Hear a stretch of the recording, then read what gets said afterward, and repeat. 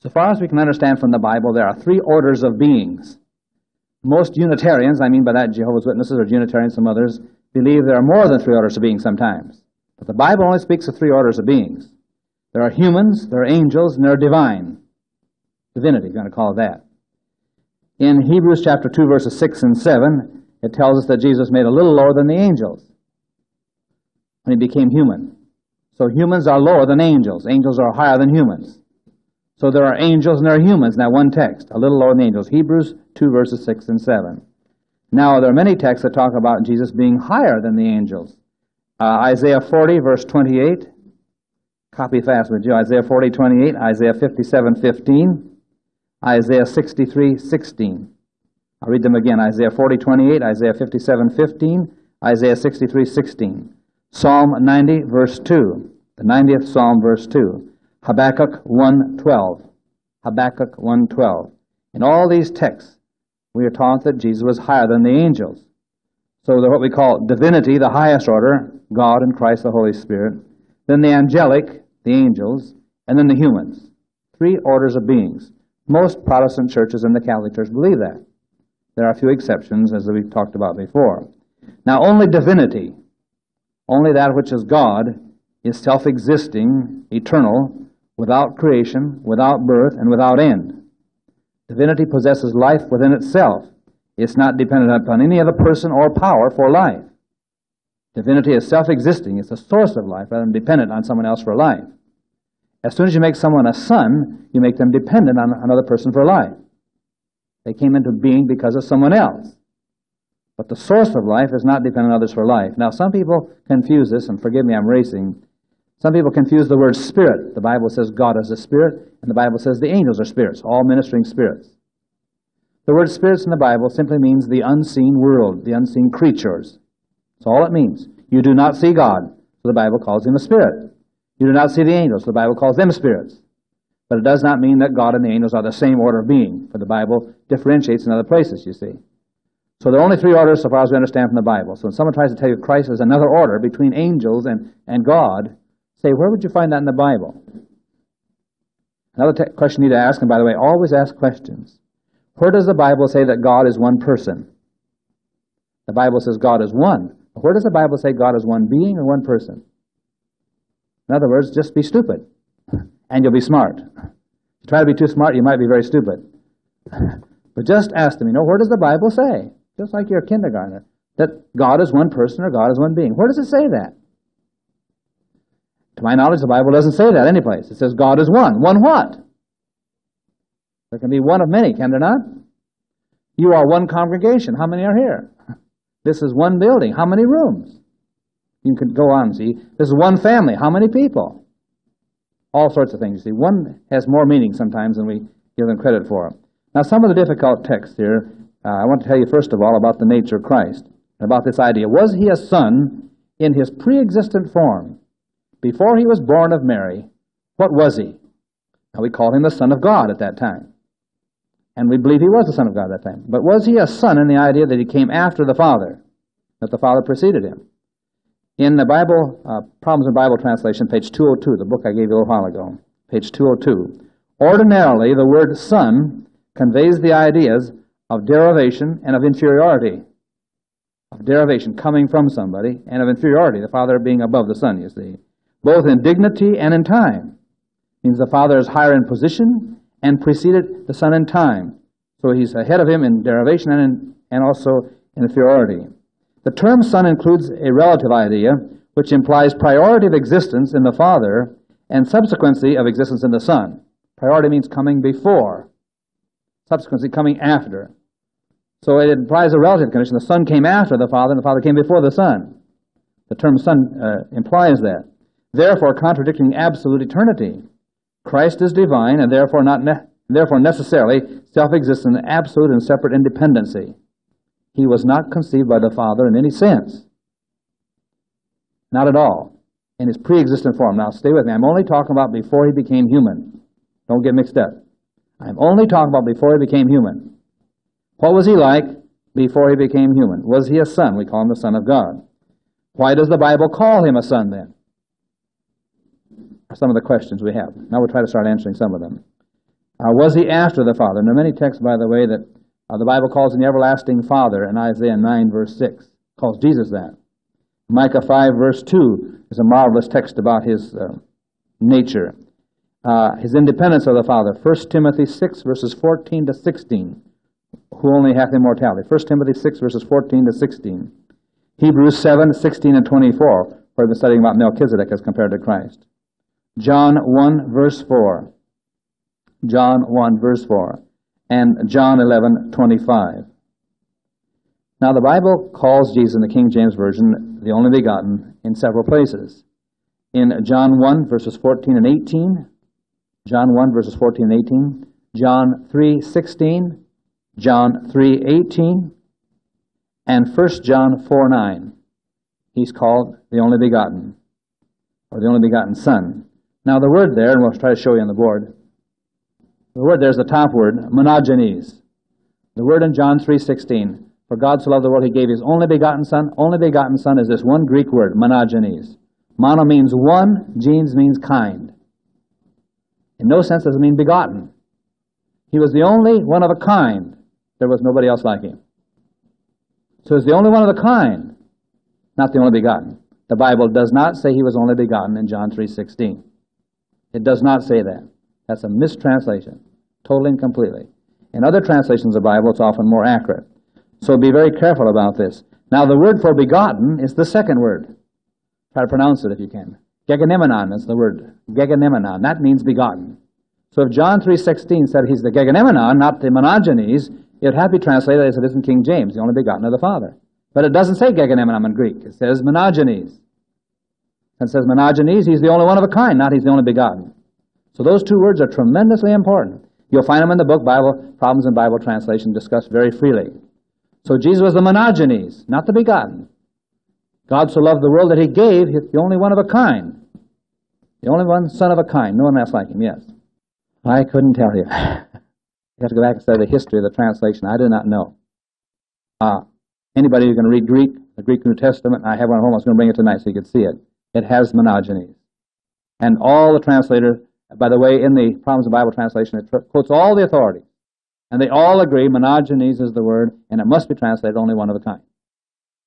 So there was no one else like Christ. Now, this word is used of other people in the Bible uh, when you begin to discuss it. Now, page 197 of Problems in Bible Translation, it defines what it's meaning. The Greek word is a compound one, monogenes, and is generally used of an only, therefore unique, very precious child.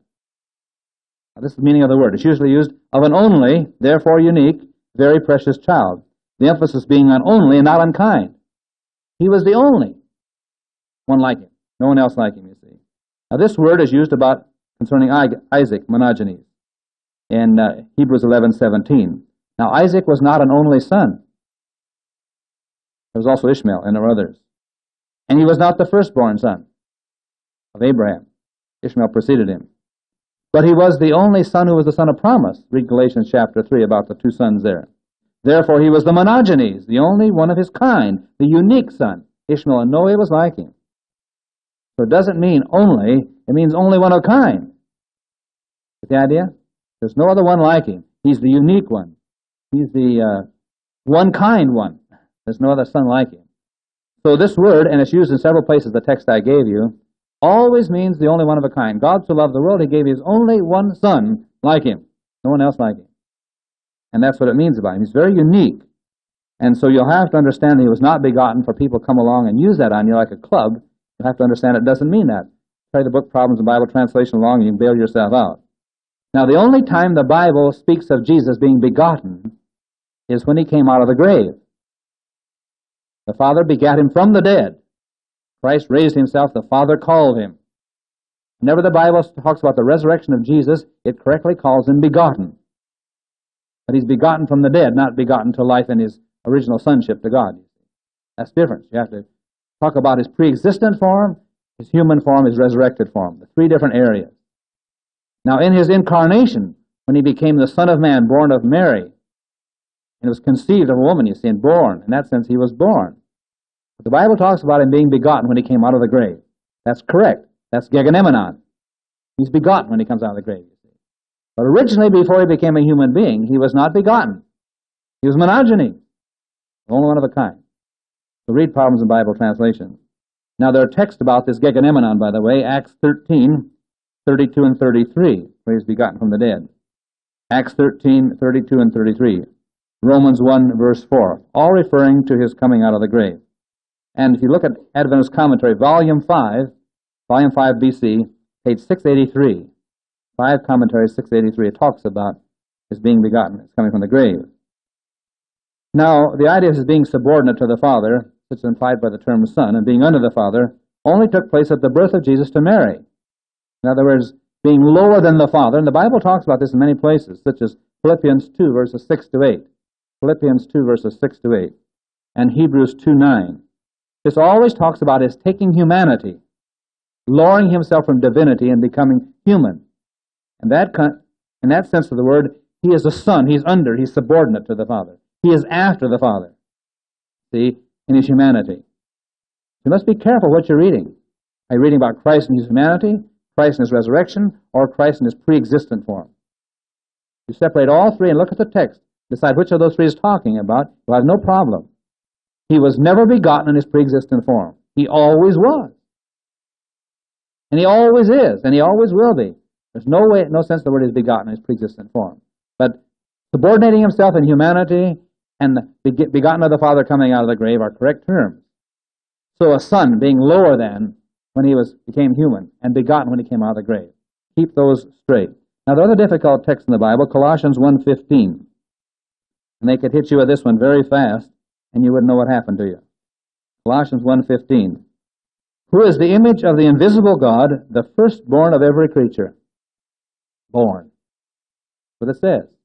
The firstborn of every creature. And this could easily be applied to his pre-existent form. The firstborn of every creature, angels and humans, and all other beings.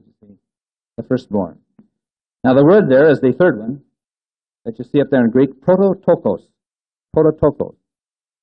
And uh, in Hebrews 1 6, I'm sorry, yes, Hebrews 1 6, this is used also. And again, when he bringeth in the first begotten into the world, he saith, And let all the angels of God worship him. Bringeth in the first begotten. That's prototokos, and it's used begotten there. This refers to his incarnation, in Hebrews 1 6. When he was brought into the world. You see the terminology there? When he brought, was brought like that. But in Colossians, it's describing the one who precedes all creation, even the angels, not one who comes after creation, such as in Hebrews 1 6. So you have a problem there. So it cannot refer to his incarnation in Colossians 1.15. In the Adventist Commentary, Volume 7, page 191. Volume 7 of the Commentary is 191. It seems best, therefore, to regard prototokos as a figurative expression, symbolic, describing Jesus Christ as first in rank the figure being drawn from the dignity and office held by the firstborn in a human family, or more precisely, the firstborn in a royal family. The firstborn in a royal family is called what? Crown prince. Somebody has studied about kings, right? We all live in a democracy with no kings. We don't know what it means. He's called a crown prince. That means he has the right to the throne. He's the next in line for the throne, right? The crown prince. So in a royal family, he has unique uh, power. Christ's position is unique, authoritative, and absolute. He has been entrusted with all prerogatives and authority in heaven and earth. So instead of being firstborn, it should be translated one who takes priority over all of the creation. One who takes priority over all creation. The preeminent one, above and before all that is created. You read the whole of Colossians 1, 14 to 18, it emphasizes Christ's preeminence. Read the whole context. You don't even have to know the Greek at all. It emphasizes Christ's preeminence. The one who takes priority over all creation is the meaning of this word there in Colossians 1.15. See, a, a firstborn son in the Old Testament, way back in the Old Testament, would receive a double portion of the birthright. He'd become the priest of the family when the father died, and he would also be the king of the family. So he had three offices that came to the firstborn son of a family. Now, so all firstborn sons were looked upon as preeminent above all other children, or all the sons. He was above them. So we believe in Colossians 1.15 is talking about Christ's position, not about his birth. You understand? He takes the highest position in the family. There is no one higher than he is. He is the preeminent one. There's no one higher. The idea? The one who takes priority over all creation. There's no one over him in all of creation. He is over all. So we believe that prototokos means the highest one, none higher than he is. And that does not mean born. It means a symbolic language, the one who's the highest of all. Another difficult text is Revelation 3.14, and this is the last difficult one we're going to discuss tonight here. Revelation 3.14. And unto the angel of the church of the Laodiceans write, These things saith the Amen, the faithful and true witness, the beginning of the creation of God. Now the faithful true witness is Jesus, according to Revelation 1. It calls him the beginning of the creation of God. He's the beginning, he's the first of the creation, you see, so he's created, right? He's the beginning of the creation, he's, he's being created. That's what it says, the beginning of the creation of God. The language is very clear. Now the word there is the last word on the, on the scope up here. Arche is the word in Greek, and that's for beginning. That's all we're worried about is beginning. Creation will take care of itself in this case. He's the beginning, is what it says in the King James Bible. In Adventist Commentary, Volume 7, page 760, 7 BC, page 760. Arche refers to that which initiates an action, a first cause, a prime mover. So understood here, it declares Christ to be the creator. It's that which initiates an action, the one who starts the action, not the result of the action, the one who starts it. A first cause, a prime mover. So understood here in Revelation 3.14, it declares Christ to be the creator. So a better translation, he is the beginning of every creature. The beginner, rather, I'm sorry. He is the beginner of every creature, not the beginning. He's not the first of every creature. He is the beginner, the one who starts all creation, meaning he's the creator of all.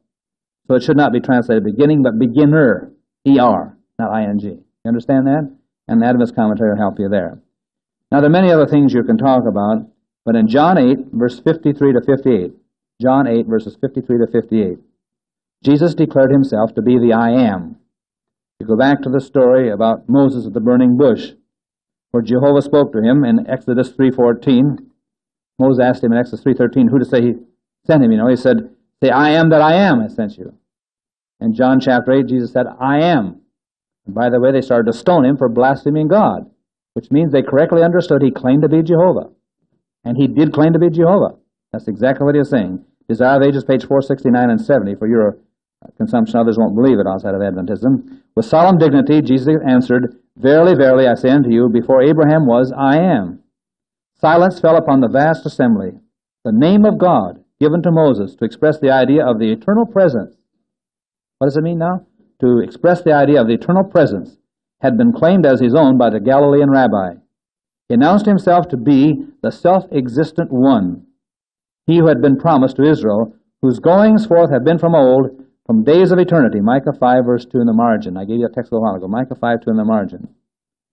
So this terminology, I am, describes the one who has the eternal presence the I am is present tense of the verb to be. And if he says I am, it means he always is. You can never say he was, and you can never say he will be. You cannot say that of I am. I am always is. You can go back 10 billion years, and he is I am. You can go in the future 10 billion years, and he's still I am. He's not I will be. He's not I was. He is always I am. That means there never was a time when he was not, and there never will be a time when he is not. He always has been, and he always will be, and he always is. I am. Now, this is extremely simple language, but I see it stretches some of your brains a little bit. Uh, you just stop to think about it. That's exactly what it means. I always am. You can't say I was. You can't say I will be. I always am. You say I will be, it means I'm not now. You say I was, I was then, but I'm not now. That's not true. Wherever you go in time, future or past or now. He's always I am. He always is the ever present one, which means he's the self existent one. So, in no way did the Father ever come at a time when the Son was not existing. The Son was always there from all eternity. The Father never preceded the Son. Never. Nor did he precede him in, in position and prestige. They were always there in the same in time. Now, I am identifies him with Jehovah. And I am is a special description of Jehovah. And I am has in it the meaning that he always is. And only, the only one like him is the Father, you see. And if he's God, is he verily God, or are there different kinds of gods, as the Jehovah's Witnesses say, you see? When I went to the three orders of beings, they try to make more than one God in different orders, you see. So there's the God and there are other gods. And I say, show me that in the Bible. And the Father, the Father begets him from the grave, and that term is used in the New Testament frequently about begotten from the grave. But if you just use the language of the New Testament, you know, you can't miss, because if he is truly Emmanuel, God with us, if he's not Emmanuel, God with us, then we never have had God. God has never joined himself to man yet. If God has not joined himself to man, how can we be saved by someone lower than God? Someone with equal the law must come, you see. The lawgiver himself must come. There are many ways of discussing this. It's a very complicated subject. The only thing we have is in the spirit of prophecy, of course. In Patriarchs and Prophets, Story of Redemption, great controversy. There's some things about this. But that's all we have in the Bible. What attempts were made to save angels, I don't know what the Bible says. But of Satan, it definitely says, and the fallen angels, you see, that they had opportunity to behold his love. Man has not, not in its fullness. It's the a demonstration of that love, an expression of it that gives man opportunity to be saved. There are things we did not know. We sin in our ignorance. When we do know, will we still sin? So by knowing the fullness of his love, we could be changed.